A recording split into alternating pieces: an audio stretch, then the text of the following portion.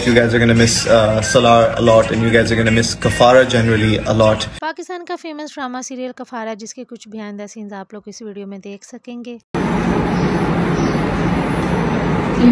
Stop! Why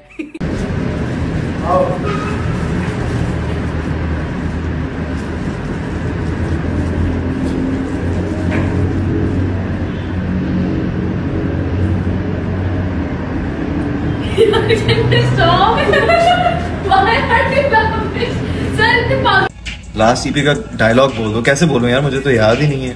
क्या हुआ आपके लास्ट एपिसोड में? लास्ट एपिसोड में मतलब नहीं नहीं देख लिया लोगों ने। अभी तो था नौ से दस बजे। हाँ बहुत सारे लोग लोग यूट्यूब पे देखे। हाँ हाँ। वो तो मैंने ऑलरेडी यार भांडा फोड़ दिया। आस्किंग फॉर सीज़न टू नहीं भाई कोई सीज़न टू नहीं आने वाला। I think that's more than enough. Thank you so much for supporting Kafara, uh, making it your uh, favorite amongst so many others. And uh, I really want to thank you all for making our drama reach the fastest 1 billion views on YouTube within 60 days. That is amazing, amazing, amazing. Thank you. Shukr alhamdulillah. I really appreciate it. And uh, credit goes to the entire team, the co-stars. Uh, thank you so very much. And most importantly, you. Thank you. अपना ख्याल रखिएगा. God bless you. And I'll see you soon with a, another amazing drama. Inshallah. I hope.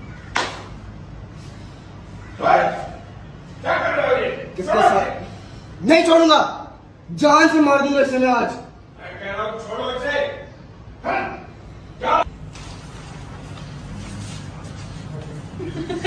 यार पूरा scene खराब किया यार मेरा हंस के यार